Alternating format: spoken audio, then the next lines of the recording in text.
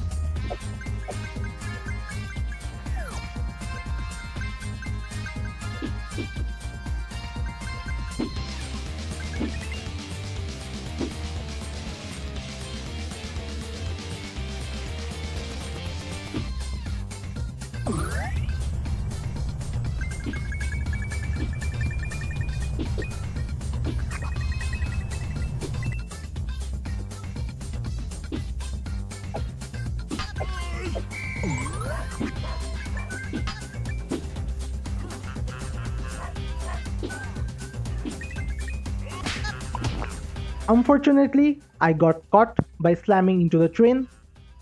Well, that's a new high score for me. And I got a spike scooter in the mystery box. Not bad at all. So, you have seen how you can maintain your fitness and have fun at the same time by simply playing Subway Surfers using gestures. That's it for today. Like, share and subscribe for more such contents. See you next time.